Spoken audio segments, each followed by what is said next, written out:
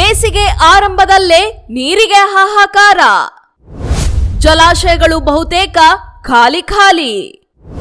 ಇನ್ನೈದು ತಿಂಗಳು ಜೀವಜಲ ಹರೋಹರ. ಬೇಸಿಗೆ ಆರಂಭಕ್ಕೂ ಮುನ್ನವೇ ರಾಜ್ಯದ ಹಲವು ಜಲಾಶಯಗಳು ಖಾಲಿಯಾಗುವತ್ತ ಸಾಗಿದ್ರೆ ಇನ್ನು ಕೆಲವು ತಳಮಟ್ಟಕ್ಕೆ ಇಳಿದಿವೆ. ಕಳೆದ ವರ್ಷಕ್ಕಿಂತ ಈ ಬಾರಿ ಎಲ್ಲ ಜಲಾಶಯಗಳಲ್ಲಿ ನೀರಿನ ಪ್ರಮಾಣ ಕುಗ್ಗಿದ್ದರಿಂದ ಜನ ಜಾನುವಾರುಗಳಿಗೆ ಬೇಸಿಗೆಗೆ ಮುನ್ನವೇ ಕುಡಿಯುವ ನೀರಿನ ಹಾಹಾಕಾರ ಆರಂಭವಾಗಿದೆ. ಬೆಂಗಳೂರು, ರಾಮನಗರ, ಮಂಡ್ಯ, ಮೈಸೂರು, ಚಾಮರಾಜನಗರ ಸೇರಿ ಹಲವು ಜಿಲ್ಲೆಗಳಿಗೆ ನೀರಿನ ಆಕರವಾಗಿರುವ ಕಾವೇರಿ ನದಿಯ ಕೆಆರ್ಎಸ್ ಅಣೆಕಟ್ಟೆಯಲ್ಲಿ ನೀರಿನ ಮಟ್ಟ ಕುಸಿದಿದೆ. ಹಾಲಿ ಹದಿನೇಳು ಟಿಎಂಸಿ ನೀರಿದ್ರೂ ಬಳಕೆಗೆ ಸಿಗುವುದು ಎಂಟು ಪಾಯಿಂಟ್ ಆರು ಏಳು ಎರಡು ಟಿಎಂಸಿ ಮಾತ್ರ. ಹೀಗಾಗಿ ನೀರಿನ ಸಮಸ್ಯೆ ಎದುರಾಗುವ ಸಾಧ್ಯತೆ ಹೆಚ್ಚಿದೆ. ಬೆಳೆಗಳಿಗೆ ನೀರು ಇಲ್ಲ ಎಂದು ಈಗಾಗಲೇ ಕಾವೇರಿ ನೀರಾವರಿ ನಿಗಮ ಹೇಳಿದೆ.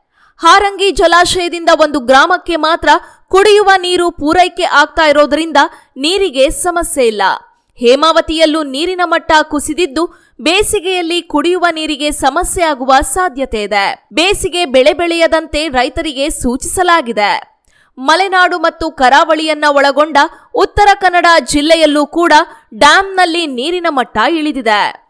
ಇದರಿಂದ ಬಾವಿಗಳಲ್ಲಿ ಅಂತರ್ಜಲ ಕುಸಿದಿದ್ದು ಮಾರ್ಚ್ ಹೊತ್ತಿಗೆ ನೀರಿನ ಅಭಾವ ತೀವ್ರವಾಗುವ ಲಕ್ಷಣಗಳು ಕಾಣಿಸಿಕೊಂಡಿವೆ.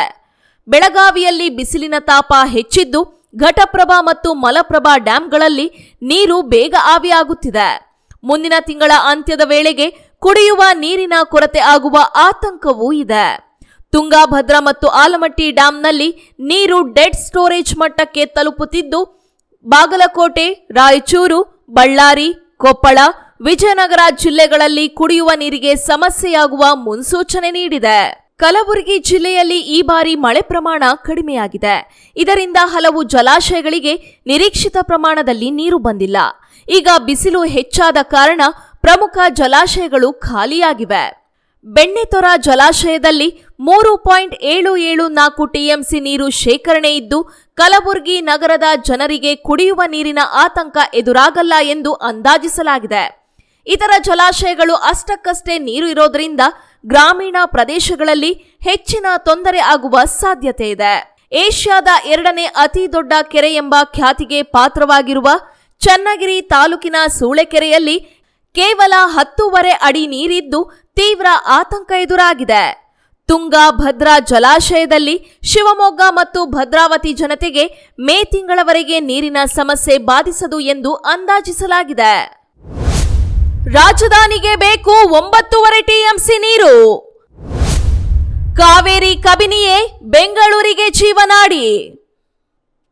ದೇಶದಲ್ಲಿ ಮೂರನೇ ಅತಿ ದೊಡ್ಡ ನಗರ ಮತ್ತು ಐದನೇ ಅತಿ ದೊಡ್ಡ ಮೆಟ್ರೋಪಾಲಿಟನ್ ಪ್ರದೇಶವಾಗಿರುವ ರಾಜ್ಯ ರಾಜಧಾನಿ ಬೆಂಗಳೂರು ನಿರಂತರ ಮತ್ತು ಶರವೇಗದ ಅಭಿವೃದ್ಧಿಗೆ ತೆರೆದುಕೊಂಡಿದೆ. ರಾಜ್ಯ ಮಾತ್ರವಲ್ಲದೆ ದೇಶದ ನಾನಾ ಭಾಗದ ಜನರನ್ನ ಸೆಳೆಯುತ್ತಿರುವ ಸಿಲಿಕಾನ್ ಸಿಟಿಯ ಹೊರವಲಯವು ಯೋಜಿತವಲ್ಲದ ರೀತಿಯಲ್ಲಿ ಬೆಳೆದು ಜನಸಂಖ್ಯೆ ಹೆಚ್ಚಳವಾಗಿದೆ. ಹೀಗಾಗಿ ನೀರು ಸರಬರಾಜು ವ್ಯವಸ್ಥೆ ಮೇಲೆ ಅಧಿಕ ಒತ್ತಡ ಉಂಟಾಗ್ತಾ ಇದೆ. ಇನ್ನು ಬೇಸಿಗೆ ಕಾಲದಲ್ಲಿ ನಗರದಲ್ಲಿ ನೀರಿನ ಬವಣೆ ತೀವ್ರವಾಗುವ ಜೊತೆಗೆ ಬೇಡಿಕೆಯೂ ಹೆಚ್ಚುತ್ತಿದೆ. ಹೀಗಾಗಿ ಈ ಬಾರಿಯ ಬೇಸಿಗೆಯಲ್ಲಿ ಜನರಿಗೆ ಕುಡಿಯುವ ಉದ್ದೇಶಕ್ಕೆ ಆದ್ಯತೆ ವಹಿಸಿ ನೀರನ್ನ ವ್ಯವಸ್ಥಿತವಾಗಿ ಒದಗಿಸುವುದು ಜಲಮಂಡಳಿಯ ಪಾಲಿಗೆ ಹರಸಾಹಸವಾಗಿದೆ.